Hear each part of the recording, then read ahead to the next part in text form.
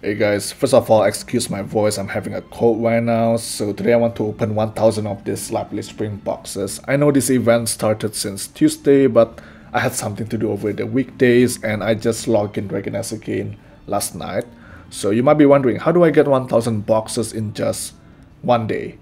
So I decided to grind a bit harder, my standard of grinding hard by the way, which is nothing compared to my friends, they said that by now they already opened around 3000 to 4000 boxes. I don't know how they do that, probably just limiting the nest for their 19 sub characters. And since it's already resetted by Saturday, so they, they've already done it like two cycles, so I think it's possible if you're like a really hard worker. This will be the first time uh, for me opening these boxes and maybe it might be helpful for you guys as well who probably haven't got the time to log in yet and you want to know how many materials rare materials uh, you can get from 1000 boxes. I know this is RNG and it will be different for every single character, but I can say that everyone's luck might not be that far apart. So even if it's RNG, maybe you can still get a picture of, on how much uh, materials you can get, especially the lunar fragments or the stigmata. So some people might be lucky and then, you know, get more, but let's just try it out. But finally it's done, so these are pretty much all the items I got from 1000 Spring Lively boxes. Uh, there are some others here like the Frozen Jades enhancing materials and yeah it was 47 so I got 14 stigmatas. I was expecting more but eh, you know what it's not that bad. Around 10-ish for each shape. I'm not expecting much from here but if I can get at least 200% line drive I'm already wearing the 162. That would be great if I can get 200 line drive. 300 is like almost impossible, but if I can get it, wow, that's that's awesome.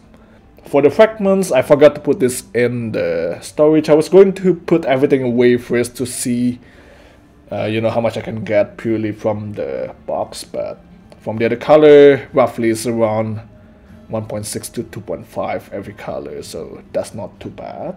27 skill rune pouch. Okay, so level 10, 257. Let's just hope it's gonna be finish attack. Title. Oh, I got oh two different titles. If I remember correctly, there's like three new titles I can get from the box, so I'm still missing one. Wait, I thought this gonna be like a 10,000 CDM. Did I remember wrong? Okay, we sort it out first and then we move it to the back. Okay, so here, just a fishing pouch. Don't tell me it's gonna be all level 7. Oh no.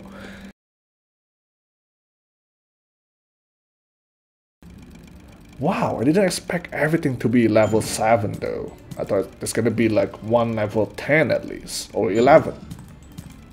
No way. No way, really? No way. No. No. Okay guys, so this one is random percentage. So I won't be surprised if it's all 30% because, you know, today my luck is